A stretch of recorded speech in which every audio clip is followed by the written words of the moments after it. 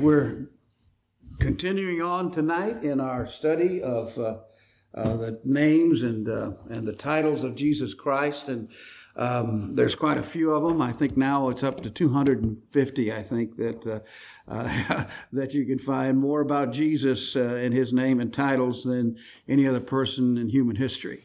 What I want to do is go back to our reading last week that we had and talk just a minute about that lesson and then move into the next uh, the next name or t- next title actually of Jesus. Let's begin reading here in John the Gospel of John chapter 1 verse 1. In the beginning was the word and the word was with God and the word was God. And he was with God in the beginning through him all things were made without him nothing was made that has been made. In him was life and that life was the light of all mankind. The light shines in the darkness, and the darkness has not overpower, overcome it. There was a man sent from God whose name was John. He came as a witness to testify concerning that light, so that through him all might believe. He himself was not the light, he came only as a witness to the light. The true light that gives light, uh, light to everyone was coming into the world. He was in the world, and through the world, though the world, through the world was made through him, the world did not recognize him.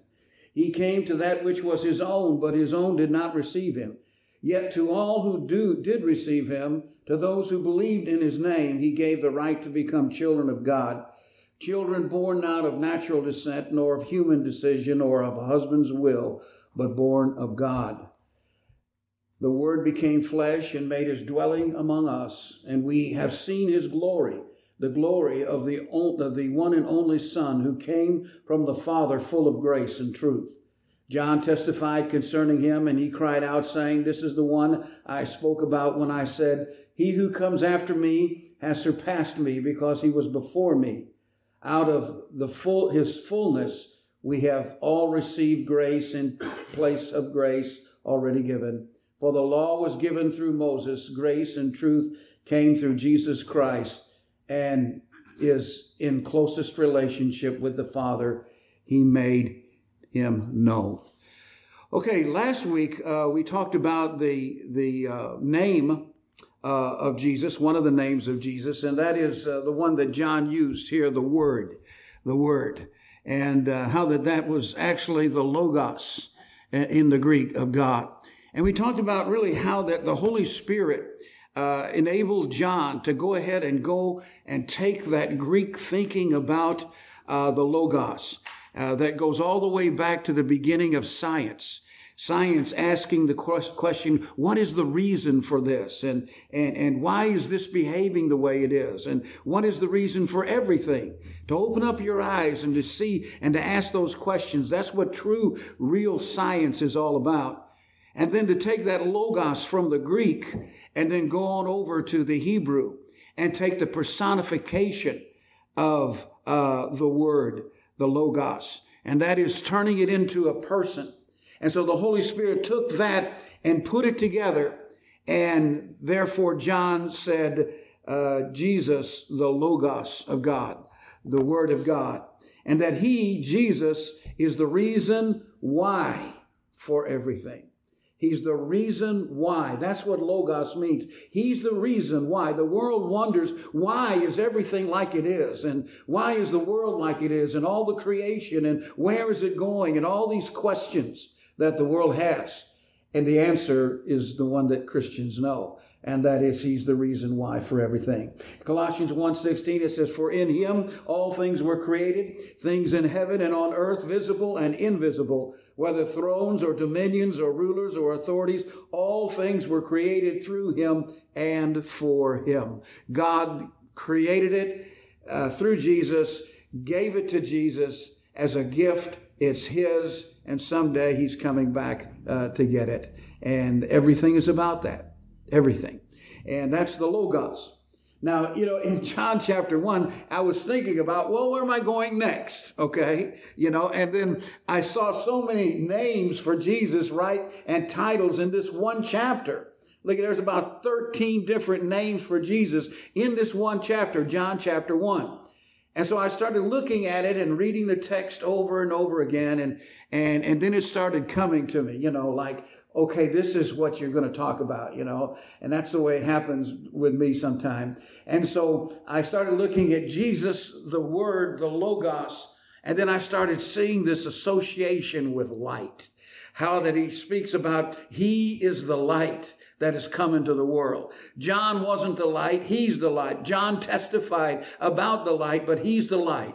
And then this connection between light and life, that he is the light of the world, which is life in that light and, and truth in that, in that light. And those three things connected together. And I guess I could have put salvation right in the middle uh, of that triangle there. But I just got to thinking about it and reading in the Greek and the Hebrew and, and all those different words and how they were connected together. And I said, no, this is what I'm going to talk about. Jesus, the light of the world. And so that's uh, how I came to our, our uh, title tonight. And that's what we're going to talk about. Jesus, the light of the world. There's no question about it. The Bible is extremely clear when it says that God is light.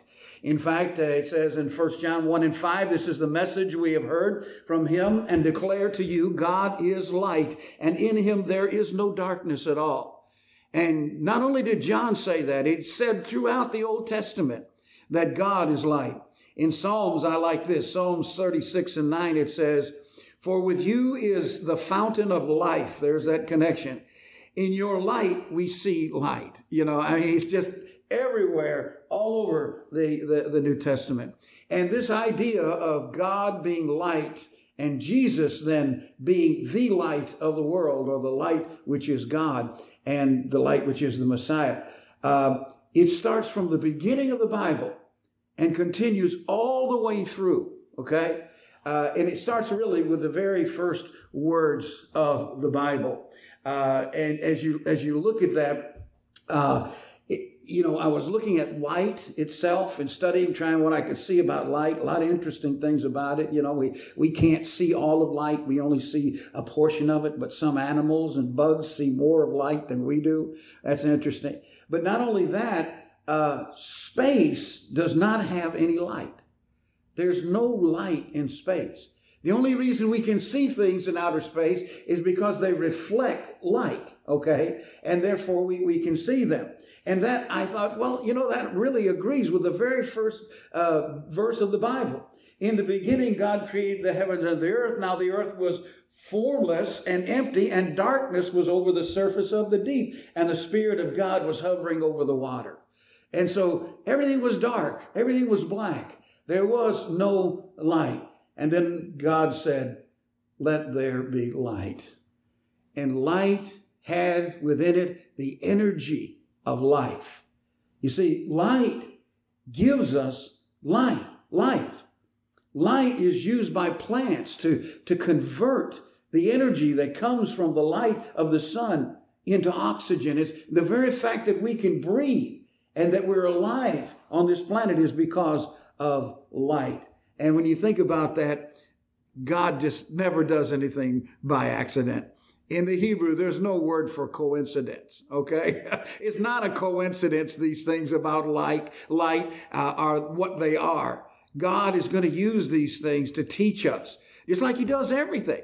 You know, just like He does the creation of man, or man and woman, or marriage, or the family. All of that was created by a design that God would give us a picture of what he and his son uh, are like and what they mean to the world. So God created the first light, you know, and like I said, nothing is a coincidence with God. Everything can be traced back to Jesus. And as I studied Jesus and, and, and life itself in the sun, for instance, I thought, well, what a, what a comparison, you know, what a comparison to God is light. Because the sun, He gives us warmth. It gives us life. It gives us uh, everything that we need to live uh, on this planet. Without it, we would all die. And yet, if you get too close to it, what happens? you die. And so we find in the, in the Bible in 1 Timothy 6 16, and he, that's God alone, is immortal and dwells in unapproachable light Not one has ever seen him, nor can anyone see him. To him be honor and dominion for uh, eternal dominion for forever. Amen. And so uh, he is unapproachable. But last week, as we said, Jesus came to be a mirror of him, to show us him and the light of the world. And so we can understand that, you know. And so in him, that's Jesus, John said, was life. And that life was the light of all mankind. The light shines in the darkness, and the darkness was not able to overcome it.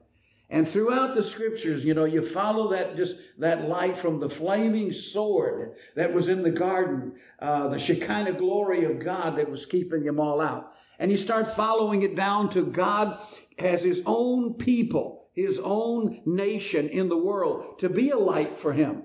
Okay? And uh, then he comes to be with them. And how does he come to be with them? He comes to be with them in the Shekinah glory, right? And he comes to Moses first in the burning bush, the Shekinah glory of God. And he speaks to him from that energy of, of, of, of fire that burns but doesn't burn up. And then he's with them in the crossing of the Red Sea so that uh, God can destroy the enemies against uh, Israel and, and destroy all those that, that came after it. And then he takes them to Mount Sinai and the, and the cloud, the glory of God is there surrounding that mountain. So much so what? That if anyone touched it, even an animal touched the base of that mountain when God was there, they were instantly stoned to death or told to be stoned to death. No one could approach God, uh, not until Jesus anyway. And so that, that glory was up there. And then God, you know, being with them uh, in the tabernacle and having the uh, Shekinah glory of God on the mercy seat of God. Okay, his presence being uh, given inside that uh, glory of God, that Shekinah glory. And then over the top was the cloud. It covered them during the day that had the glory of God in it. And then at night, they had fire, the fire of the glory of God over the tabernacle. And so, whenever the glory of God would move forward, the light of God, then they were to break down the tents and to move. And when it stopped, they were building back the tents again. And then inside the tabernacle itself, they had that, and they had the um, the candlestick that we'll talk about uh, later. But throughout the Old Testament, we have we we've been promised of, uh, uh of a great light that was coming into the world, and the world uh, and would push back all the darkness of the world. And so, uh, not only was there physical examples of God as light, but there was the prophecies concerning the coming of the light of God into the world, that the darkness couldn't overcome it. And so you have these prophecies, most of them, a lot of them in Isaiah. In Isaiah chapter 9, it says, The people who walked in darkness have seen a great light. Those who dwell in a land of deep darkness, on them has light shone.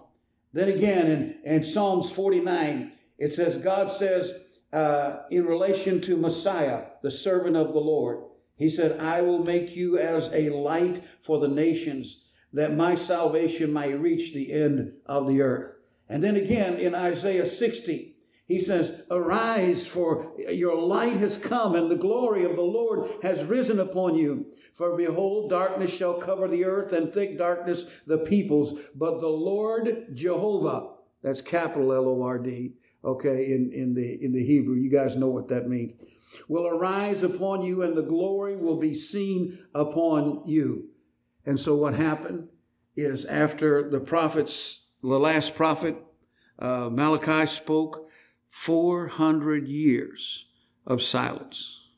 400 years where God spoke not a word, did not one miracle, had no presentation of his light and his glory that they could see. And then all of a sudden, one day, one day, there was a baby that was born.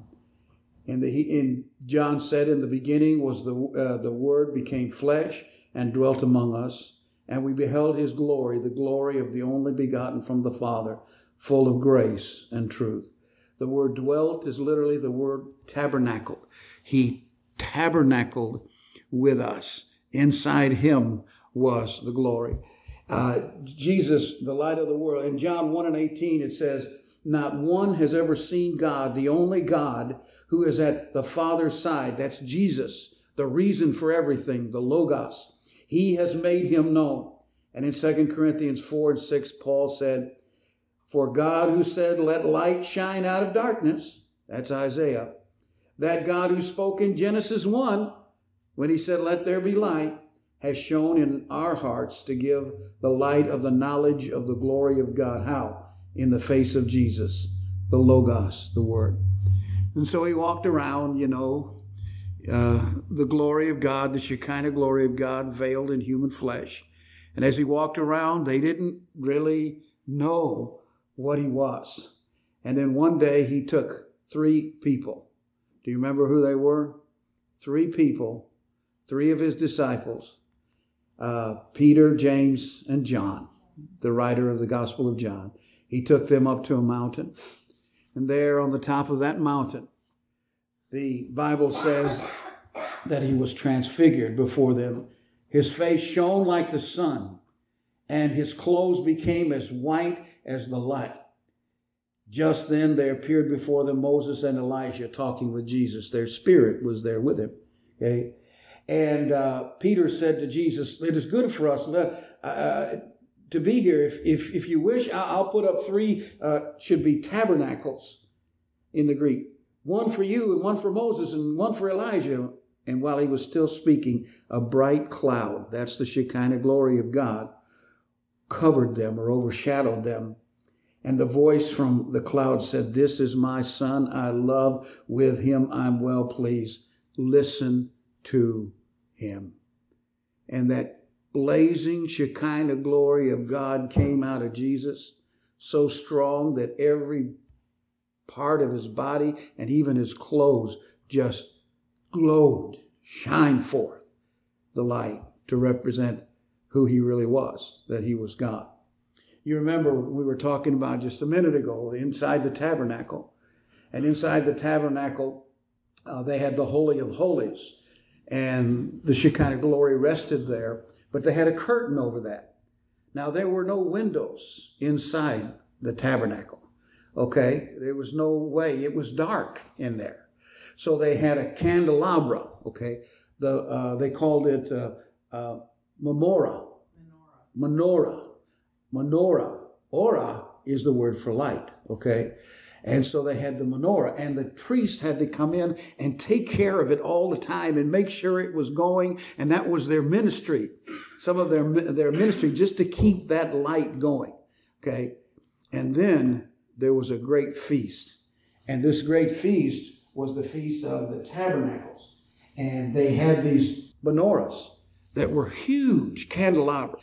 And they had them in front of the, the temple, right in the temple, the woman's court. They had them over. They say at night that they, they were so big and so many of them that the light shone like spotlights going up into the air.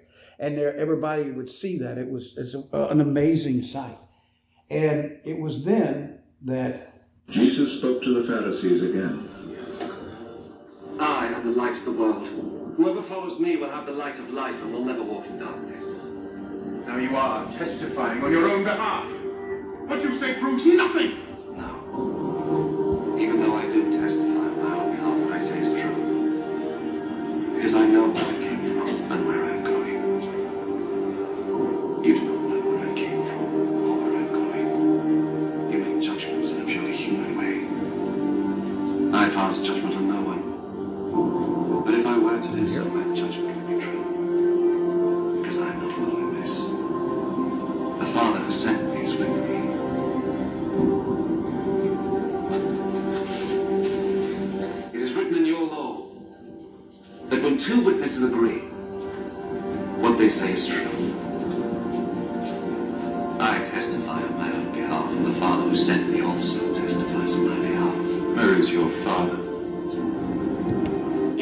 neither me nor my Father.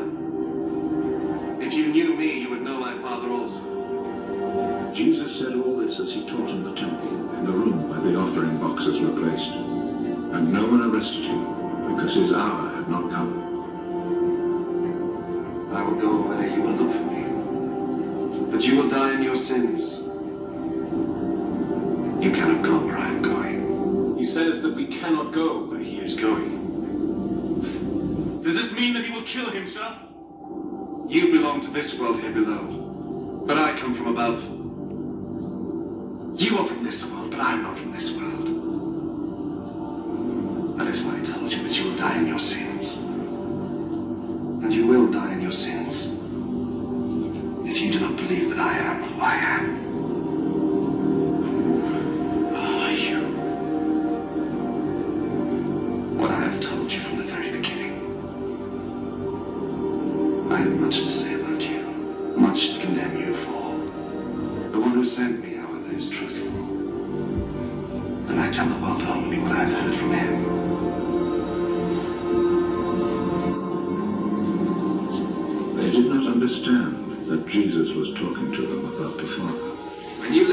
Son of Man, you will know that I am who I am. Then you will know that I do nothing on my own authority. That I say only what the Father has instructed me to say. And he who sent me is with me. He has not left me alone.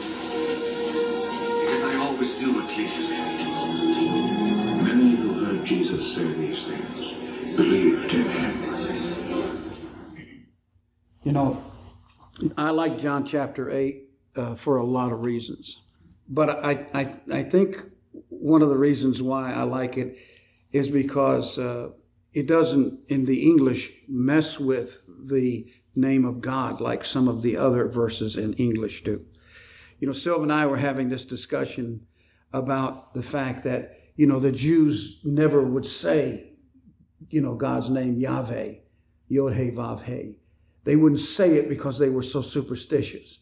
And so they didn't say it, and then they changed it to Lord, capital L O R D, or God, capital G O D, or Yah, uh, as, as the scriptures in, in the prophecies say about Jesus. And yet, that same force is with us today.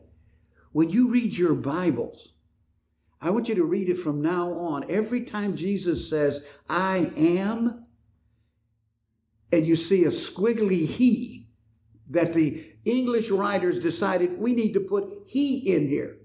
In other words, it's not in the Greek, but they just, they didn't know. They didn't understand. So they, so they put he in every time they say it. When Jesus said, uh, I say unto you, unless you believe I am Yahweh, I am, you will die in your sins.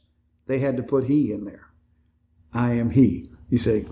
But I like it for another reason. I, I like John 8 because it, it, you see really what true darkness really is.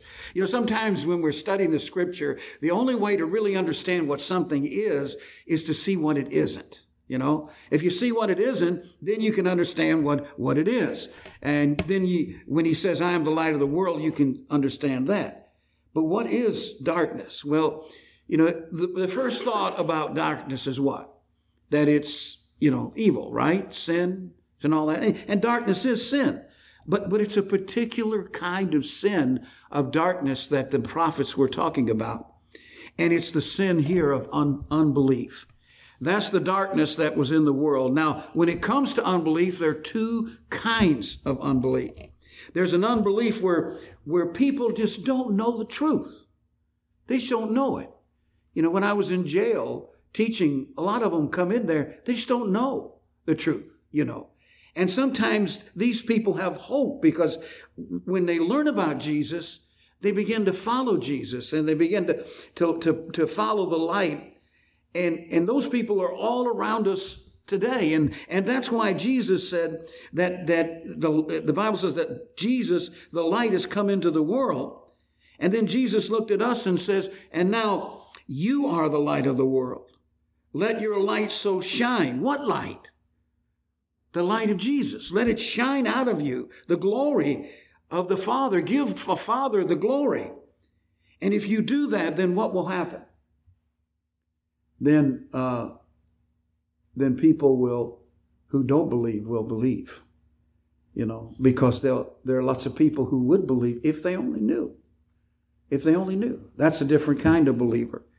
You know, in, in Revelation, uh, remember the, the, the picture that we have that, of what John saw, you know, and he turned around and he saw uh, a, a picture of seven golden lampstands or menorahs, okay?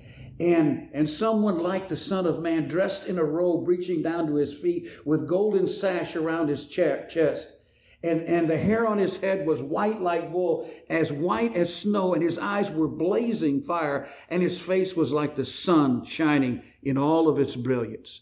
And that's what he saw. Now those menorahs there represented what? They represented the church. For the church is not a building it's us. We are the church, okay? And it represents the church in, in, in, in the midst of the world, a world of darkness, okay? And that's why Jesus said, unless you repent to that one church, I'll take away your lampstand. I'll take away the glory that you have from God. And then, uh, you know, you, you read like Philippians 2, uh, he says that we are uh, so uh, so that you will prove yourselves to be blameless and innocent children of God above reproach in the midst of a crooked and perverse generation among who you appear as lights in the world. And you see that, I think that's really neat that he says that there because today we do have all the darkness of sin around us. We have blindness. We have injustice and oppression. We have hopelessness and despair and cruelty and moral insanity and hatred and broken lives and broken homes and broken relationships. There's a lot of darkness. Sometimes there's even darkness in our own hearts, in little places in our hearts. We know the darkness is all of there, always there. But there's another darkness, and this darkness is even much deeper. And that darkness is willful and deliberate unbelief willful and deliberate unbelief. This is deadly. It's the kind of unbelief that the religious leaders had in Jesus' day. These are the ones that the God of this world has blinded the mind of the unbelieving, the Bible says. They choose to work against the light, to do everything they can against the light. These are the ones who have heard the facts but choose not to believe. And Jesus said, I am the light of the world. Uh, they knew what he was talking about. Those Jews in that feast, they knew the Messiah would be the light. They knew that God is the light. And when he said, I am Yahweh, Jehovah, I am the light of the world, they knew exactly what he was saying. And you know, I think it's interesting of where it was that that happened in that Feast of the Tabernacle, where they had all of those menorahs out there and it was also a great time for the Jewish family, you know, to get together like we do with campers and stuff and, and all go and camp out right around the temple. And as they camp out around the temple, lighting all these little lights, you know, and then here's Jesus. And he's walking and he's looking and he says, I am the light of the world. I am the light of the. They're oohing and eyeing over these little candles and those candelabras and the blazing light of the glory of God was walking around in their midst. That's amazing to me. That's absolutely amazing. They knew Isaiah's prophecy, okay? They knew all about that. And when he said, I'm the light of the world, that was very, very, very powerful. Uh, and what he was saying also, too, is you know, these lights that you're lighting here, they're, they're going to go out they're going to go out. And when they go out, you'll be in darkness. Okay? He said, But whoever believes in me will never be in darkness. Because I'll not just lead you to the promised land like I once did when I was in the wilderness with you. I'll lead you all the way to heaven and eternal life. Because I know the way out of darkness I know the way out of sin. I know the way out of sorrow. I know the way out of death itself. Believe in me and follow me, and you'll have eternal life. And that's what he would say. That's what he would say. Uh, it's powerful, powerful when you think about it. Now let me let me go on, move on here. I don't want to keep you all night here, uh, but in John chapter 1, let's go back to John chapter 1 for a second, okay? Because I want to get this another connection, and it's this connection that I think when you get a hold of it, it's really powerful. And that is this connection between uh, the light and the glory of God, okay? The light, Jesus was the light, uh, but he was also the glory of God. And those two things together are very important. In fact, if I had to entitle and give you a title for the entire book of, of uh, Epistle of John and, and, and the Gospel of John, it would be the glory of God as seen in the face of Jesus Christ. Because he said more about that than any other writer ever said concerning the light, uh, who Jesus is. Now, let's talk about this glory of God for a second. The glory of God. God is zealous for his glory. And as we've seen, he declared it in the heavens. He declared it uh, when he created the lights in the sky and the stars, when he created day and night, and day and night are a witness to his glory. And they have a glory of their own. So in the light of day, you have the warmth and you have uh, the light and you have it enlivens you, okay? Okay? But then you have a light at night too. What's the light at night? The light at night is, is the moon, okay? But the moon, however, is not its own light, it gives testimony to the light. The moon gives testimony to the light. And God again created it that way on purpose. It wasn't a, a, a, just, oh, I think I'll create it like this today. You know, no, no, no. It was all one single purpose because he was John, who by inspiration describes Jesus as the light, the light that shines in the darkness. Now, he talks about John uh, the baptizer, okay? And uh, when he's talking about John the baptizer, uh, he's likened John to the moon okay, uh, that reflects the glory of the sun, S-U-N, okay, or S-O-N too. But, but one is the source of the light and the other gives off the glory of the light. And I think that really helps me to understand a lot about myself and my brethren as well. Because, brethren, how do you measure the greatness of a man or woman of God?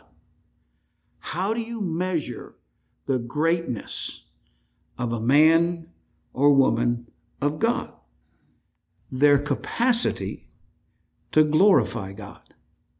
I mean, we have a lot of ways of evaluating people, okay, and evaluating their worth or their accomplishments. But the Bible signifies those who glorify God the best are the greatest in God's eyes.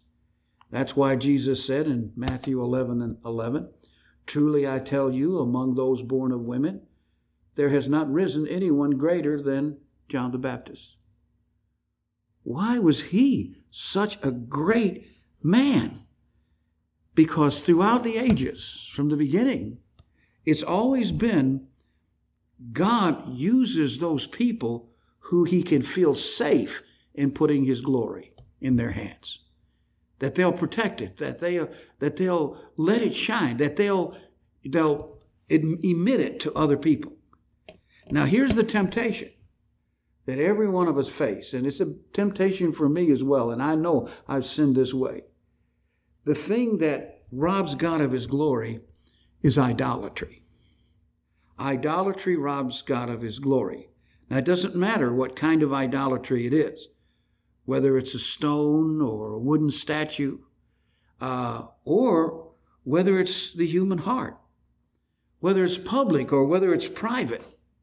Sometimes you can take the glory of God and, and, and use it and then take, take the glory yourself. You know, it's like somebody who always talks about themselves when they're talking to somebody else. It's always about them. I've been guilty of that. I, I talk about myself way too much. Sil will gladly admit my sin on that. But it's true. And, and I know that. And, I, and you have to be so careful about that, okay? Uh, and, and not take that glory in. Uh, instead, uh, it could even be in private. It can be idolatry can be in the form of self pity or jealousy or covetousness. Uh, they're expressions of idolatry, of glorifying self. And that distracts from our purpose to glorify God.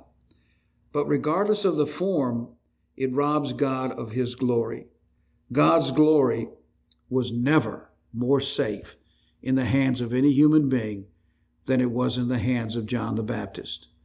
Because John the Baptist reflected the glory of Jesus Christ. He was very careful to always do that and to always point to Jesus.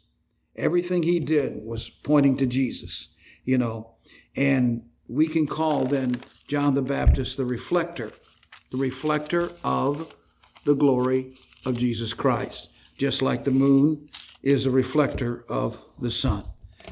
Now, John is a great name. it's a good name. What does it mean? Jehovah is gracious. That's what it means. Jehovah is gracious. And John was contrast to Jesus uh, over and over again by uh, John, who wrote the epistle.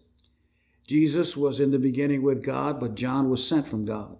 Jesus was God, but John was a man. Jesus was the light, but John was a reflector of the light.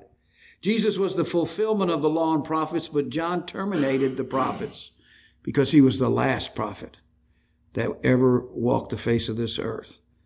Besides Jesus, if you want to call Jesus a, a prophet like the Old Testament prophets. We had prophets in the New Testament, but they were not the kind of prophets that the Old Testament prophets were, much, much different than that. Okay. And so that, having said that, that brings it into perspective for, I think, for all of us. Uh, John, who uh, Jesus considered Jesus truly a great man, but I didn't finish that verse. Okay?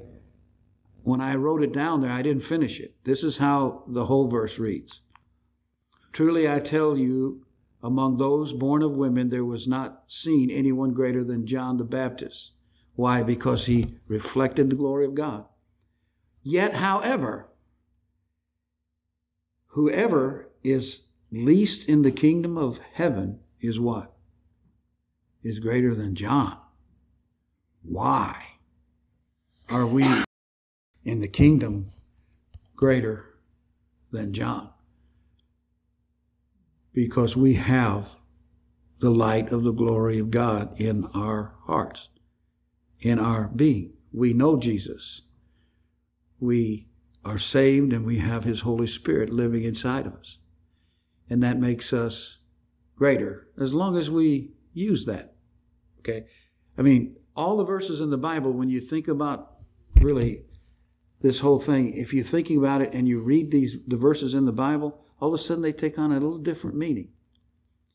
If we walk in the light as He is in the light, we have fellowship with one another and the blood of Jesus cleanses us of all sin. I, I always used to think of that walking in the light. What does that mean? Well, moral purity, right? That's how I come out, came out of the school. Moral purity. You better be pure. That's walking. If you get out of, step out of the light and sin, then, you know, but, but John went right on to say, if anyone say had no sin, he's a liar. It's not moral purity. What is the light? The light is what makes us greater than John the Baptist, the greatest one born of a woman in the past. It is that glory of God that we hold on to and we keep going with it and we're walking in it. And as long as that glory of God is in us and we're walking in it and it's shining forth from us, then all of our sins, again, in the Greek, that's the present continual tense of the verb. Keeps on forgiving, keeps on washing away our sins. None of the sins are, are there anymore. In fact, I, I like this verse here. Jesus was the I am, but you are a chosen race, a royal priesthood, a holy nation, a people for his own possession, that you may what? Proclaim the excellencies of him who called you out of darkness into his marvelous light. That's what evangelism is all about. Evangelism is not tricking somebody into the baptistry. It's not making somebody so scared they want to come. It's having the glory of God in you and, and attracting people through Christ. Now, there's some people you won't, those who willfully don't believe, they won't be attracted. They will hate you. But other than those, you know, others will start coming to that. And what an evangelism. What if we just went out and just let the glory of God come forth from us? What a way to evangelize the world around us.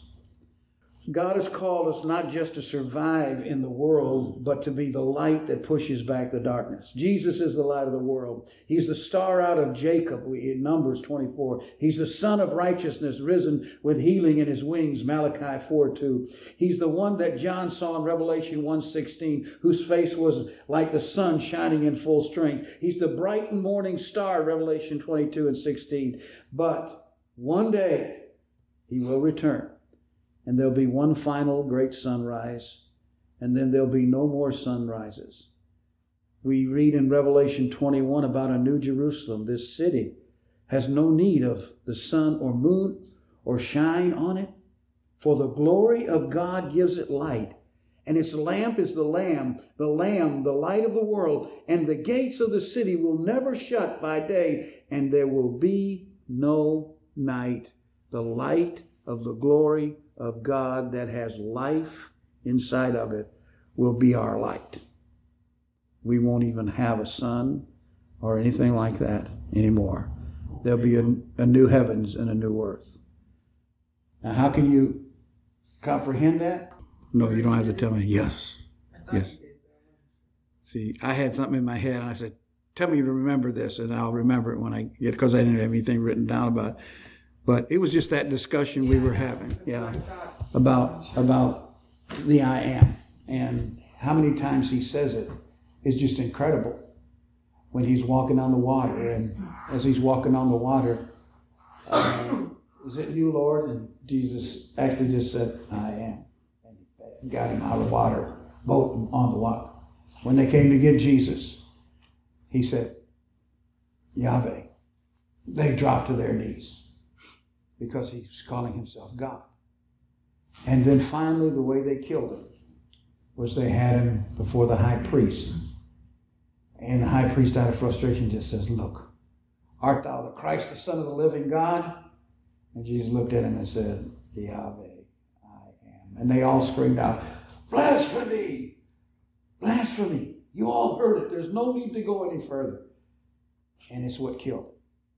It's what made him take him and kill him because in everything, the light, the word, the truth, all of it, he was revealing he was God. And if you wanted to hear it, you could hear it. You could know it. But they didn't want it. They were in darkness. They loved the darkness more than they loved the light. Right? Like one one illustration. Sometimes darkness can be very dangerous. I know of a preacher who took his son out to see the Grand Canyon. And they were out there just getting ready to look at it and everything, and it got dark. And you know, it got dark. There's no lights out there. So it got really, well, they decided to go over to the parking lot. He had a couple of sleeping bags. And so he said, let's just go and throw our sleeping bags down, go to sleep, and we'll get up in the morning. So they threw their sleeping down, bags down on the ground. They went to sleep. And right about a foot away was a 500 foot drop. and they woke up, but they couldn't see it in the dark. And there's a lot worse than that for those who are in the blindness of Satan, blinded by the God of this world. I hope you enjoyed this podcast. If it's been a blessing to you, you can go to johndkimbrough.com to hear more episodes. You may also subscribe to my free podcast on Apple Podcast or anywhere you listen to podcasts you may email me at john at johndkimbrough.com for questions or comments. Thank you.